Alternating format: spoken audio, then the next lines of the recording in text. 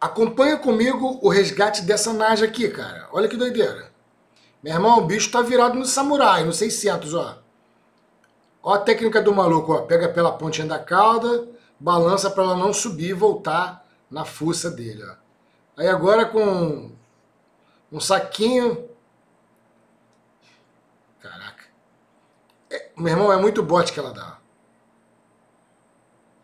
Esse resgate é um resgate, claro, profissional, mas eu achei bastante é, do tipo assim, se ele cai ali no poço com a Naja, o que aconteceria? Escreve aí pra mim.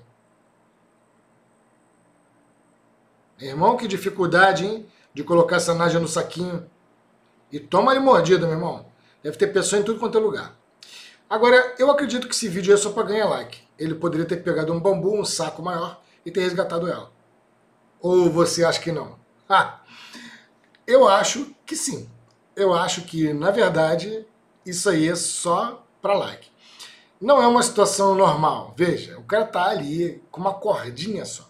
A cordinha onde ele tá amarrado e se ele cai no poço, dá ruim.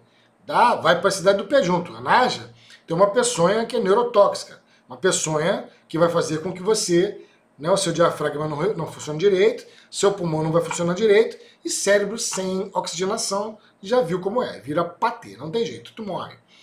E aí ele vai lá numa cordinha, aonde ele nitidamente pode romper, cair, com um saquinho também, que vai pegar a naja, e também ela pode fugir dali, não tem uma coisa específica. Bom, péssimos instrumentos que ele se utilizou para fazer o resgate dessa naja.